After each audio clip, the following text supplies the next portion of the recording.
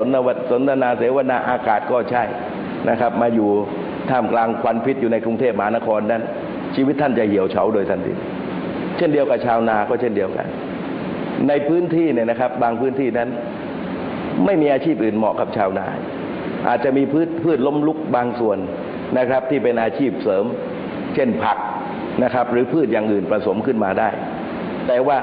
โดยส่วนใหญ่นั้น วิถีชีวิตตั้งแต่บรรพบุรุษมาจนถึงปัจจุบันนั้น เขาทำนามาหลายชั่วอายุคน ดังนั้นเนี่ยนะครับ การที่จะเปลี่ยนสภาพการโดยฉับพลันนั้น จะเป็นเรื่องที่ยาก เพียงแต่ว่าในพื้นที่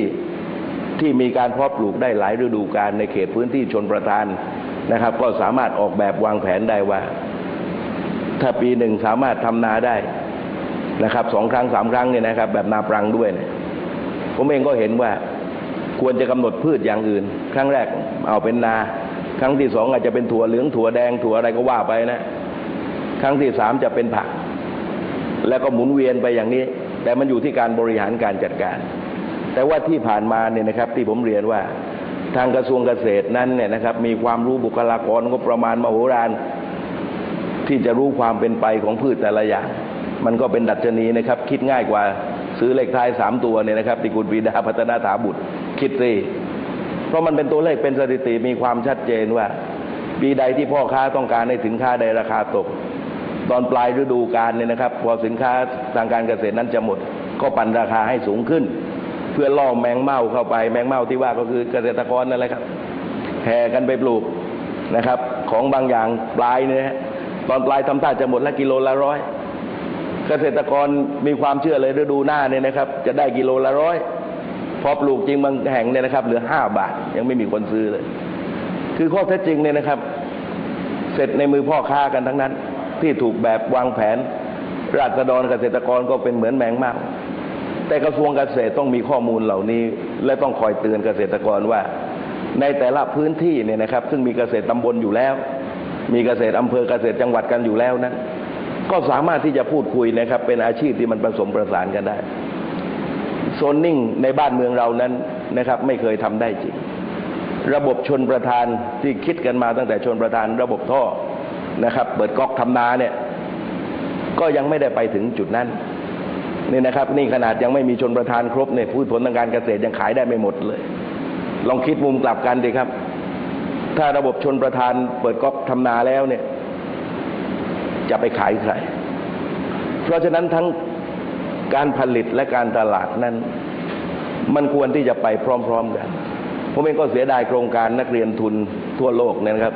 จากหวยบนดินนั้น คือความจริงเนี่ยนะครับ สินค้าบางอย่างมันมันขายได้เฉพาะบางประเทศเหมือนลำไยขายได้เฉพาะจีนประเทศเดียว ประเทศอื่นก็ไม่เคยกินลำไยนะครับมีประเทศไทยกับประเทศจีนนะและผลผลิตมันเกินกว่าที่จีนจะรับซื้อได้เพียงประเทศเดียวนะครับ คนจีนเชื่อว่าเป็นตามังกรนะแต่ประเทศอื่นไม่เชื่อตามประเทศจีนนะ แต่ละปีเนี่ยนะครับลำไยโศกนาฏกรรมทุกปียางพาราจีนก็ซื้อหลักสี่ล้านตันทั่วทุกภูมิภาคแค่ไทยเนี่ยครับก็ผลิตเท่ากับความต้องการจีนแล้ว แต่จีนเขาต้องสู้ต้องซื้อกับอีกหลายประเทศเห็นไหมครับ เพราะฉะนั้นนะครับหลักคิดอะไรต่างๆ กันมากมายนั้น ก็ควรที่จะพูดได้ว่าสังกายนากันทั้งระบบกันเสียทีแต่ส่วนใหญ่นั้นเราเราจะไว้พูดประเด็นเหล่านี้ตามที่ผมเรียนมาหลายวันว่า เวลาพูดเวลาที่มีปัญหา เหมือนเราพูดเรื่องการแปรรูปยางพารา ว่าจะต้องทำถนนลาดยางนะครับ จะเป็นยางพาราจริง ๆ แล้ว จะต้องเป็นอิฐบล็อกเป็นไม้หมอนเป็นฝายแป๊บเดียวยางแล้วก็บอกเขายางเนี่ยในโกดังรัฐเนี่ยนะครับ น่าจะทำที่สุด แต่ละฝ่ายก็เห็นพ้องต้องการเพลอแป๊บเดียวขายแสนตันแล้วเห็นไหมครับแล้วเราก็เป็นข่าวมาจนกระทั่งเนี่ยนะครับ ก็ดังขึ้นมากลายมาเป็นปัญหาใหม่ แต่ว่าถ้าเราคิดแบบยั่งยืนกันจริง ๆ นั้น ไม่ว่ายางราคาจะสูงยางราคาจะตกนะครับ ก็ต้องคิดเหมือนกัน ว่าการดำรงอยู่ชีวิตในอนาคตนั้นจะเป็นอย่างไร แต่เอาเอาไว้พูดในเวลายางราคาตก เช่นเดียวกับพูดในเวลาข้าวราคาถูก มันไม่มีวันจะแก้ไขปัญหากันได้ และทุกปีนะครับ เราก็ต้องเจอวิกฤตลำไยวิกฤตยางพารา วิกฤตข้าว วิกฤตผลไม้ ทุกอย่างนี่นะครับ เป็นวัฏจักรอย่างไม่จบสิ้น ถามว่านะครับ แล้วเราไม่มีข้อมูลเหล่านี้หรือครับ มันก็มีข้อมูลกันครบถ้วนกันทั้งนั้นแหละกระทรวงเกษตร แต่ว่านำมาใช้หรือเปล่าบอกนำพอเวลาพอเวลาดีขึ้นก็เก็บพอเวลาราคาตกก็มาพูด แล้วเพราะพูดเวลานั้นมันก็ทำไม่ทันแล้ว บ้านเมืองเนี่ยนะครับอยู่ในสภาพการอย่างนี้กันมาโดยตลอดเพราะฉะนั้นนะครับแนวความคิดอะไรกันต่าง ๆ เวลานี้เนี่ย ในกรอบเวลาที่มันมีความเป็นไปได้ ก็ต้องรีบทำนะครับ มาตรการนี้นะครับ ช่วยหนึ่งพันจะพึงพอใจอะไรไม่มีทางเลือกนะแต่ว่าดีกว่าไม่ได้ก็แล้วกัน แต่เอาเป็นว่าไอ้ที่ค้างคนเช่านานี่จะช่วยกันยังไง ทีนี้ไอ้ระยะยาวเนี่ยนะครับ ที่บอกเห็นผลสามปีห้าปีนั้น ซึ่งมันยาวเกินไป ในความเห็นของผมก็คือว่าไอ้หนึ่งปีตามรถแมพเนี่ยนะครับ ที่คิดอ่านกันว่า จะเกิดการเปลี่ยนแปลงกันอย่างไร คิดอ่านเท่านี้ส่วนสองปีสามปีสี่ปีนั้นเป็นเรื่องอนาคต เพราะฉะนั้นเนี่ยนะครับ มันจะเกิดเหตุการณ์อย่างนี้ในปีหน้าอีกแล้วในระหว่างนี้เนี่ยครับ คือข้าวนาปีเสร็จข้าวนาปลังอีก ปัญหาเนี่ยนะครับ ก็จะเพิ่มเข้ามาอีก ยังไม่รู้จักจบสิ้น เพราะฉะนั้นผมจึงฝากเรียนว่า แนวความคิดณขนาดนี้เนี่ยนะครับ อย่าคิดว่านี่คือความประสบผลสำเร็จ นะครับ จะแก้ไขปัญหาอะไรได้ มันเพียงแค่เศษเสี้ยวเดียวนะครับ ของการเยียวยาความรู้สึกเล็กๆเท่านั้นแต่เราต้องยอมรับความเป็นจริงว่า สิ่งที่เพิ่มมานั้นนะครับ มันไม่เพียงพอ การดำรงชีวิตนะครับ สินค้าไปขึ้นรออยู่ล่วงหน้าทั้งหมดอยู่แล้วนะครับ ยิ่งมีการออกข่าวการขึ้นเงินเดือนข้าราชการกันเมื่อไหร่เนี่ยนะครับ ไม่ต้องห่วงครับของขึ้นรออยู่แล้ว สินค้าเนี่ยนะครับ ได้ยินน้ำมันขึ้นราคาก็ขึ้นแล้ว เพราะฉะนั้นเงินที่เห็นอยู่นี้ แม้ว่ามีความจำเป็น แต่มันไม่เพียงพอที่จะใช้ชีวิตได้นะครับ ตามความประสงค์ไม่ ทั้งหมดนั้นเนี่ยนะครับ ที่บอกว่าจะต้องมาฟื้นกระตุ้นเศรษฐกิจอะไรกันมามากมายทำกันไปเถอะครับ แต่คนก็ต้องการเห็นผลว่าความสำเร็จเนี่ย ประชาชนเขาจะได้จับต้องสัมผัสกันได้ เพราะว่าปัญหาของประเทศนั้นมันไม่ใช่วิกฤตทางการเมือง วิกฤตทางการเมืองแก้ไขไม่ยาก ที่ผมบอกว่าหยุดต้นตอนะครับ จัดการให้มันยุติธรรมคนที่อารมณ์ค้างทั้งหลายเนี่ย ที่จะต้องกระทืบกันอีกฝ่ายนั้นให้เขาหยุดนั่นจบแล้ว แต่วิกฤตเศรษฐกิจนั้นเป็นเรื่องใหญ่ และเป็นเรื่องที่เป็นภาระหน้าที่เป็นความจำเป็นนะครับ ที่แต่ละฝ่ายเนี่ยนะครับ ซึ่งมีความเห็นตรงบ้างไม่ตรงกันบ้าง แม้กระทั่งนะครับ คนที่เกี่ยวข้องกับการแก้ไขปัญหาเรื่องเศรษฐกิจเองนี่ไม่นับภายนอกเรื่องความเชื่ออะไรกันต่าง ๆ กัน เพราะฉะนั้นนี่เป็นปัญหาใหญ่ และจะเป็นปัญหาหลัก ที่นะครับที่กำหนดความสำเร็จหรือไม่สำเร็จ เพราะความรู้สึกนี่นะครับ มันได้เพียงแค่ระยะหนึ่งนะครับ ที่การสร้างให้เอาบ้านเมืองมีความสงบแล้ว แต่ว่าถ้าบ้านเมืองเกิดความสงบ แต่ท้องหิวอะ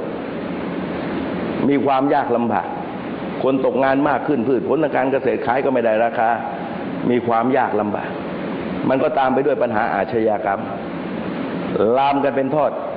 นั่นจะกลายเป็นปัญหาใหญ่เป็นคลื่นใหญ่มากขึ้นมา เพราะฉะนั้นเนี่ยนะครับ ผมเชื่อว่าเจตนาเนี่ยนะครับ คนที่ต้องการแก้ไขปัญหา เจตนาดีอย่างแน่นอน เพียงแต่ว่าการสดับตรับฟังในเวลานี้เนี่ยกับคนที่มีความเห็นที่แตกต่างกัน ถ้าเขามีความปรารถนาดีนะครับ ในส่วนต่างๆ ที่เป็นผู้เชี่ยวชาญนั้น เขาจะได้ช่วยกัน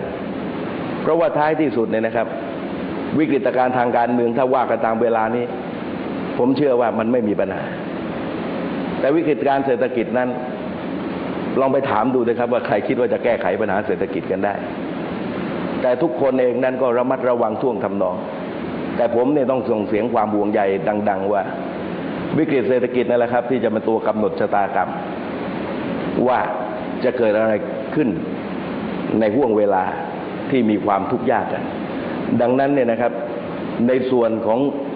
หัวหน้าทีมเศรษฐกิจนั้น คือท่านเองเนี่ยนะครับต้องเหนื่อยกว่า คนอื่นเป็นจำนวนมาก เพราะท่านได้ปรามาสในทุกๆเรื่อง กับในสิ่งที่ผ่านมา ดังนั้นผมเองก็มีความเห็นว่า เมื่อท่านเห็นว่าความล้มเหลวนะครับ ของคนที่ท่านมาทำหน้าที่แทนนั้น ท่านต้องทำให้ดีกว่าเขา เรื่องการแก้ไขปัญหาของชาวนา ท่านต้องทำดีกว่าชุดที่แล้ว เพราะท่านแสดงความรังเกียจแสดงความไม่เห็นด้วยนะครับ เมื่อท่านมีโอกาส ชาวนาก็จะได้แลเห็นคนไทยก็จะได้แลเห็นว่า ท่านดีกว่าเขาอย่างไร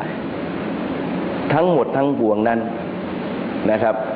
เราต่างฝ่ายต่างมีความปรารถนาดีกับบ้านเมืองด้วยกัน เพราะฉะนั้นเนี่ยนะครับภาวะความกดดันนั้น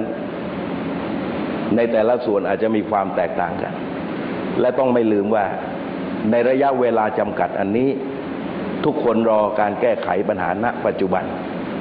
ไม่ใช่อนาคต อนาคตเป็นเรื่องที่ไม่แน่นอน อดีตก็ตอบคำถามแล้ว เมื่อท่านไม่เห็นด้วยกับอดีต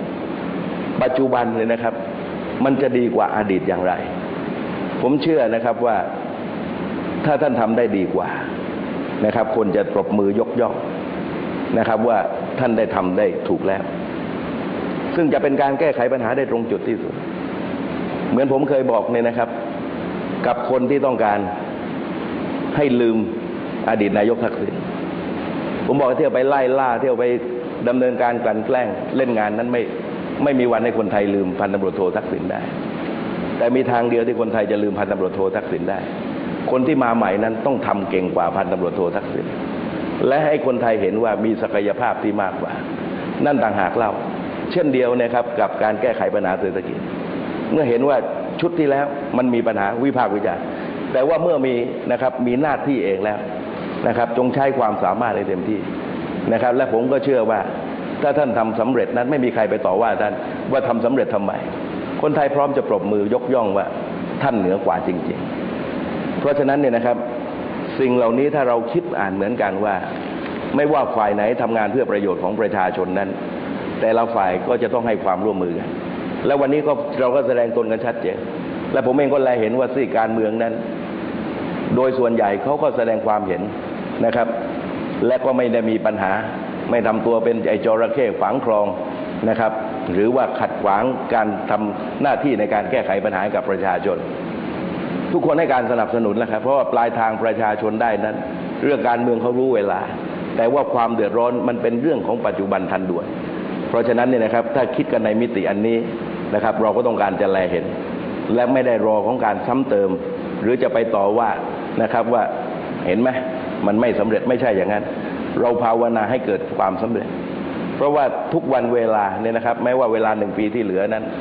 นับขณะปัจจุบันก็เหลือหนึ่งปีนั้นนะครับ เวลาหนึ่งปีสำหรับชีวิตของประชาชนนั้น มันไม่ควรจะผิดพลาดนะครับ ในการที่เขาจะได้ใช้ชีวิตยืนหยัดอยู่ในสังคมประเทศนี้ได้นะครับ เพราะฉะนั้นด้วยความวาดหวังว่าทีมเศรษฐกิจเนี่ยนะครับ จะได้เดินหน้าแก้ไขปัญหากันได้ตรงจุดนะครับ แล้วก็อย่าไปติดคำว่า ประชานิยม หรือจะอะไรนิยมอะไรก็ตาม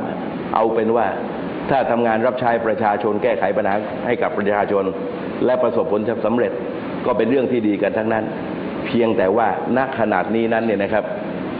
เรื่องราวต่างๆ เราต้องเข้าใจกันก่อนว่า การเอาประเด็นการเมืองมากลบประเด็นเศรษฐกิจ ดังที่คนบางจำพวกพยายามทำกันนั้น มันทำได้เพียงแค่ชั่วครู่เท่านั้น ถ้ากราบใดเนี่ยครับ ความจริงมันปรากฏว่าปัญหานี้ไม่ได้รับการแก้ไขเลยนะครับ มันจะย้อนเข้ามานะครับ ซึ่งเราก็ไม่อยากจะเจอนะครับ และผมก็ปรารถนาว่าทีมเศรษฐกิจชุดนี้จะได้ทำความสำเร็จนะครับ เพราะประชาชนเขาหวังอย่างนั้นนะครับ ส่วนปลายทางผลจะเป็นอย่างไรนั้น ก็เป็นชะตากรรมของบ้านเมืองก็แล้วกันนะครับ พบกันใหม่ในวันพรุ่งนี้กับรายการมองไกลครับ วันนี้สวัสดีครับ